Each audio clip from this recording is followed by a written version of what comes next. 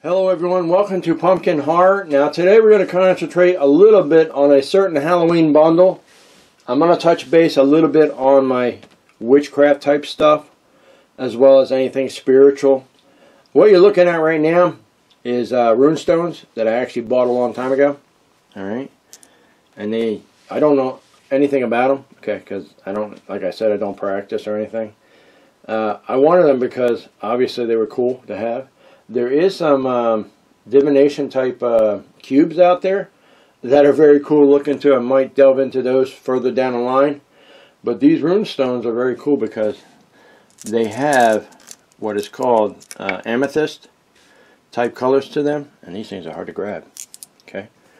Um, and that's my birthstone. So what I want to do is I'm going to show, show you the actual stones in themselves. They got special markings on them. See? Oh. On. Let's just put this down here. Something's going on outside. Alright, that's... Oh. Okay, hang on for a second here.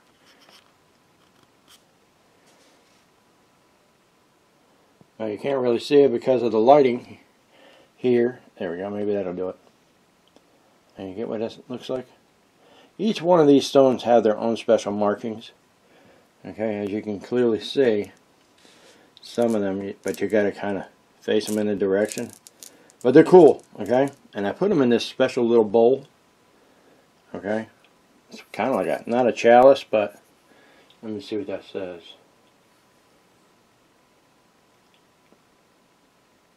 World Market, that's where I got this from. Now, in my last video, there was uh, the three little wind-up toys that I had on here. I don't know if you guys have seen the video or not, but I just uh, got done doing it. Uh, I got those from World Market, and that's what this is from. It's a store that's located here in Greensboro. And every once in a while, they'll have some really cool looking Halloween stuff. Different than what you would normally find in most stores. Okay, and that's the bottom of the bowl. I just put my rune stones in here. Just to keep an eye on Okay, now, like I said, I don't practice. But I should delve into it just to see what it's like. I'm sure it's pretty interesting, but it takes some figuring out, that's for sure. But anyway, these are my rune stones, guys. Let me just kind of... There you go. That's what they look like. Okay. Moving on.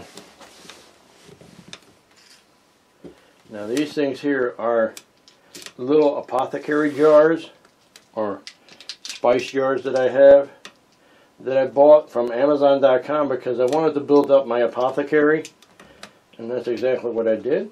And I got different jars on that. Um, anyway, uh, like I said, I'm just dealing with these here. Okay, hang on. I just put this down here real quick and then we're going to stand them up. Okay, these are small little jars. You can put little interesting things in it. As you can see, I've got some different things. And some of them actually have actual witches type seasonings that are associated with witchcraft or Wiccan stuff. Yeah, but like I said, I don't practice. Alright, so keep that in mind. I just collected because of the Halloween factor. Okay, and this one here, believe it is paprika. Okay. Right there. Little neat little trinkets. I actually found those at Michael's or could be Hobby Lobby. Usually you'll find some interesting things in the back. Enough to fill up your jars. Okay. Some more.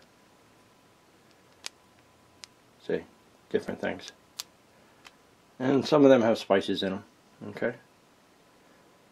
I wanted to get some vervain, but you have to order it online, and they're in seeds, and then you got to grow them and then obviously you got to break them down to powder. You know usual stuff. Didn't want to go there. Now this right here is marijuana. No just kidding. I don't know what it is. I think it might be pepper or something. I'm not sure. Could be rosemary. I don't know. But anyway these are some of them. Now I've got some bigger jars sitting on the apothecary. I'll show you the apothecary when the time comes. I'll take a picture of it so you can see all the stuff that's on it. But like I said, I'm going through it shelf by shelf on what's going on.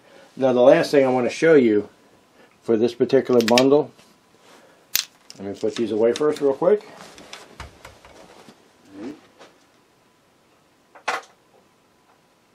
Bear with me guys.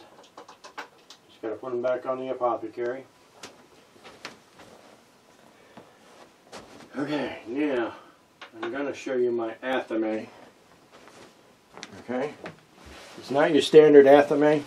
I kind of dressed it up because I didn't want just your standard Athame. I just put some neat little trinkets on it. Alright. Put cool little rubies on it, stones here. Okay. And that's what she looks like. Okay. Alright. We'll take the knife out so you can see what it looks like. But let me just pull that. There we go, guys. Okay, that's my Athame. Now, I actually, ordered that on Amazon for like 20 bucks, I think. But it was just the knife itself. Everything else I ordered or went to the store and got. And this right here is a triquetra, I think they call it. But anyway, I end up making these beads and stuff like that. And I do have some pagan prayer beads that I will eventually show you once I go, go around that side of the room. And this little crystal here, I think it's cool. You buy this stuff at the store and just dress it up. You know what I'm saying? But anyway, let me show you what the knife looks like. It's got a cool little handle. Okay.